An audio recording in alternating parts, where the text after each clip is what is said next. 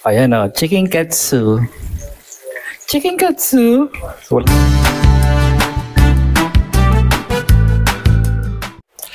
Hello mga kapapas, so kumusta kayo? So for today's vlog, ayan. So magluluto ko ng ulam na ginisang pechay.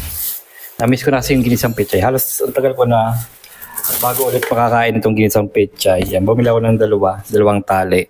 Tapos lalagyan ko siya ng sardinas. Tapos lalagyan ko siya ng manok. Yan, ito yung gusto kong gusto kong subukan na ginisang sardinas na may manok. So gagawa rin kasi ako ng chicken katsu. Chicken katsu. So ayan. May itlog din tayo dito at may cornstarch. Uh, first time natin gumawa ng chicken katsu. So sana ma-perfect natin. Ayan, so na-slice ko na yung chicken. Ayan, tinan nyo ba? Sana hindi siya mag-shrink. Di ba? Kailangan ko itong pupukpukin. Kailangan pa pupukpuk eh. So nakagawa tayo ng 1, 2, 3, 4, 4. Tapos, dito pala yung breadcrumbs. So, mamarinate muna natin ito mga 10 minutes bago natin iprito. So, next steps natin is pechay. Linisin muna natin yung pechay. So, hindi ko na ipapakita sa inyo kung paano maglinis ng pechay. Pero siguraduhin nyo na linis na linis yung pechay. Kasi may mga uod dyan na maliliit sa loob-looban. Okay?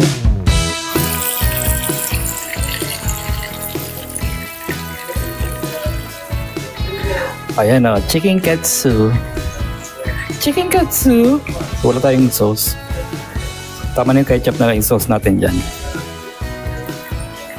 So yan, magigisa muna tayo ng bawang at sibuyas. Magigisa na tayo ng ano, ng sardinas na may pechay. Ayan. So ilagyan na natin itong ano,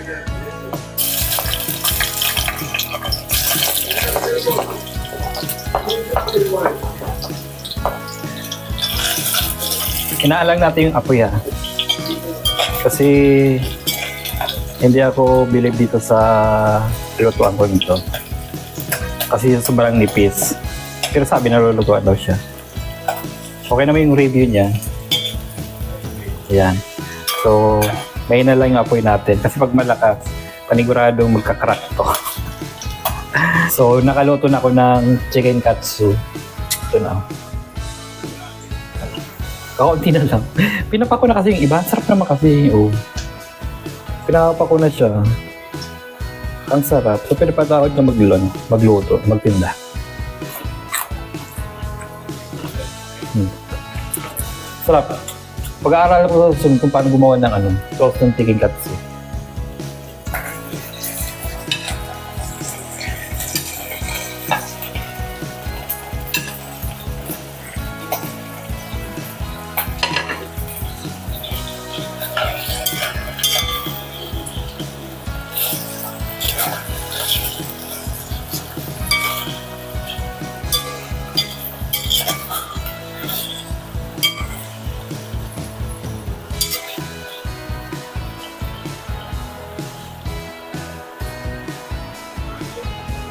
So, ilagay natin yung sardinas.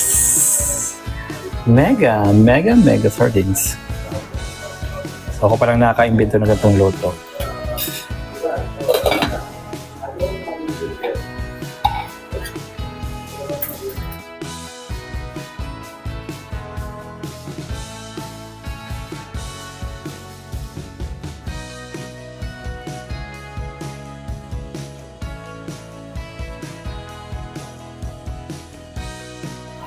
Ayan. So, hello mga kapapas. So, kamusta kayo sa Portalis Vlog? So, ayan. So, niya, nakita nyo naman, nagluto tayo na... Ayan, oh. Wow. Ginisang sardinas na may pechay na may manok. Ayan. Matagal ko ng plano itong gawin na ulam. Yung ginisang pechay na may sardinas at may manok. Ngayon, tatuloy na natin. So, tapos, nagluto tayo dito ng ng chicken katsu. So, nagtry ko ng chicken katsu. So, perfect Ayan. Ayan. Ayan. Ito yung chicken katsu natin. Nabali nga lang kasi. Kanina ko pa kasi ito pinapapak. Ayan. So naka-isang piraso na ako nitong papak. Ang sarap kasi, sa gutom na gutom na ako. Anong oras na alaunan na? Ngayon ako natapos. Late na naman kasi ako nagluto. So bumili na lang ako ng kanin sa karinderya. Para Ayan, so para hindi maparami yung kain natin. Babawas ako sa, sa kanin. Ayan, oh. Wow, ang sarap nito. Favorite ko to, yung ginisang pechay na may sardinas.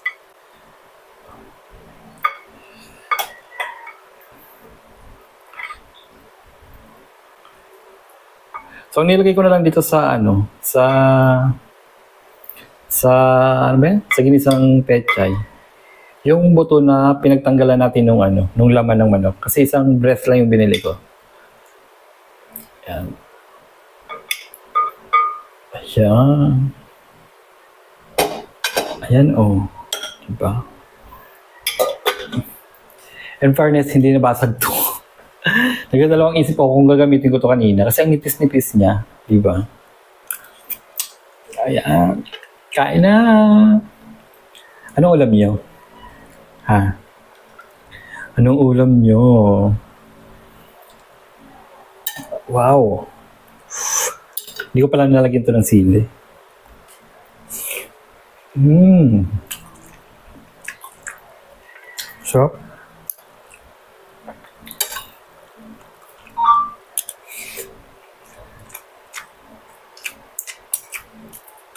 Init.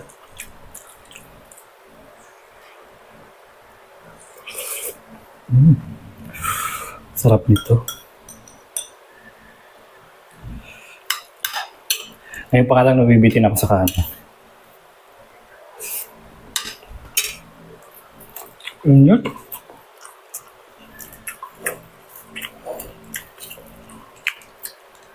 Ayan tayo ng ketchup.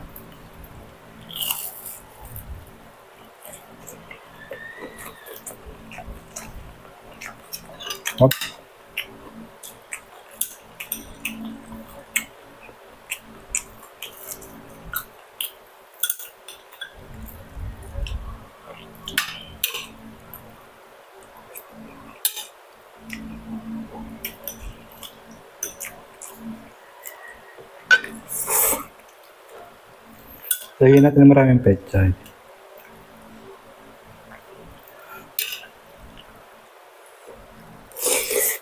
Mmm.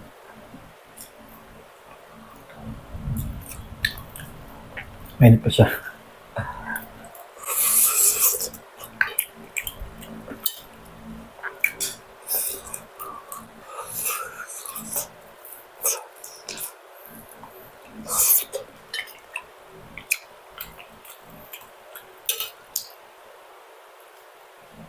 Ba't parang ang tagal lumamig dito?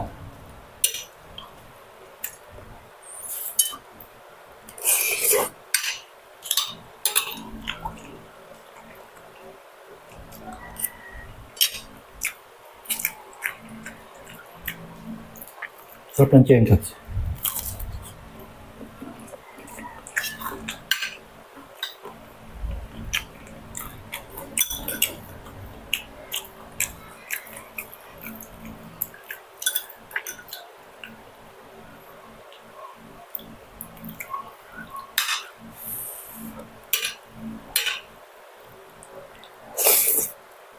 Hmm? Sarap.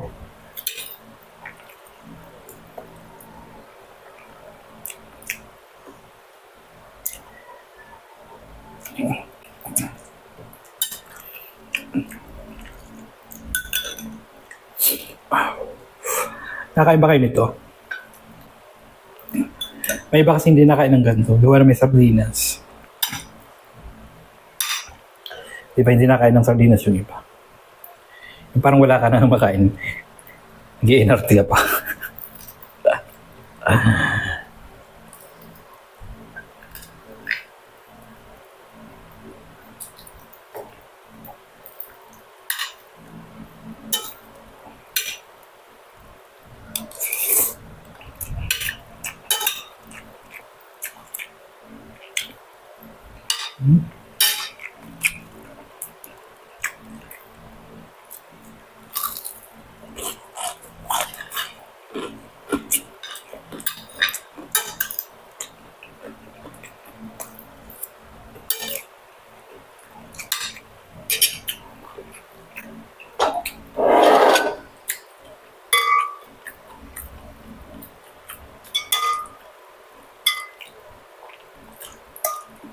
Hindi ko inubos yung pechay. Ba't ba inubos? Ah. Uulan pa ata. Sana umulan para naman di mabanas.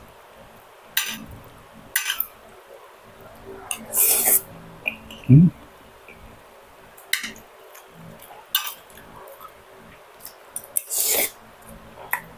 Ano?